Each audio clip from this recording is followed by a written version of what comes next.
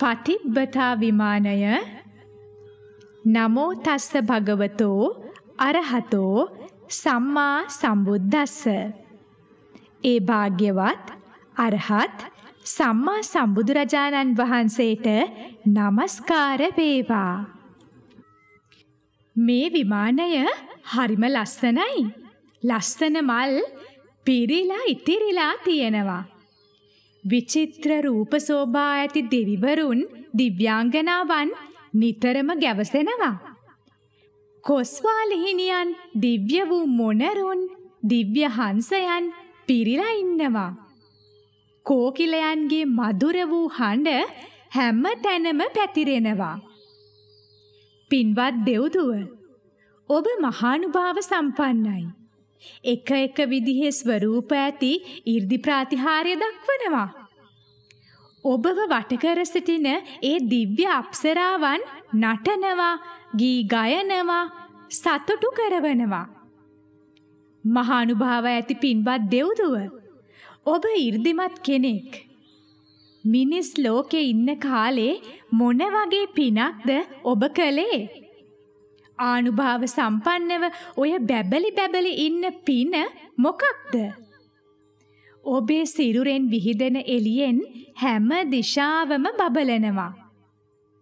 මොග්ගල්ලාන මහරහතන් වහන්සේ තමයි මේ ප්‍රශ්න ඇහුවේ.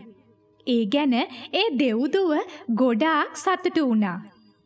මොන වගේ පින්කම් වලින්ද මේ සැප ලැබුණේ කියන ප්‍රශ්නයට ඇය මෙහෙමයි පිළිතුරු දුන්නේ. මං අතීත ජීවිතයේදී මිනිස් ලෝකයේ මනුස්ස දුවක් වෙලා හිටියා. මං කවදාවත් වෙනත් පුරුෂයෙකුට ඇලුම් කළේ නෑ. පතිවෘතාව රැකගත්තා. අම්මා කෙනෙක් දරුවෙකුව රකින්නවා වගේ මං මගේ ස්වාමියාව රැකගත්තා. මට කේන්ති ගිය වෙලාවන් තිබුණා. නමුත් මං නපුරු වචනයක් කිව්වේ නෑ. මං ඇත්තමයි කතා කළේ. බොරු කීම දුරු කරලයි හිටියේ. දන් දෙන්න මං හරි කැමතියි. අනුන්ට සංග්‍රහ කරන ගතිය මා තුළ පිහිටලාම තිබුණා. දන්පැන් පූජා කරන්නේ සිත පහදවාගෙනමයි. බොහෝම පිළිවෙලට මං මහා දන් දීලා තියෙනවා. ඒ පිනෙන් තමයි මෙවැනි ලස්සනක් මට ලැබුණේ. ඒ පිනෙන්මයි මේ සම්පත් ලැබුණේ. සිතට ප්‍රීතිය උපදවන මේ සැප සම්පත් ඔක්කොම ලැබුණේ ඒ නිසාමයි.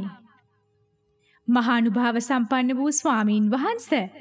මිනිස් ලෝකෙදී ඔය පින තමයි මං කරගත්තේ.